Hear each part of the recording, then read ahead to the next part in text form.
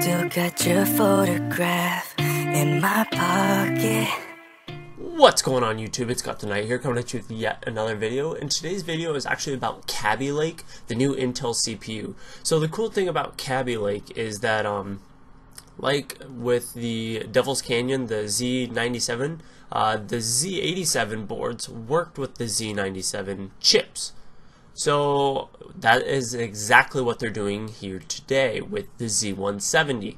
Uh, the Z170 with a BIOS update with certain manufacturers, mind you, I think they were saying like 80, 90 boards or something like that, will be backwards compat or will be compatible with the Kaby Lake CPUs, which is a good thing, especially for people who have a let's just say 6700K who want a 7700K.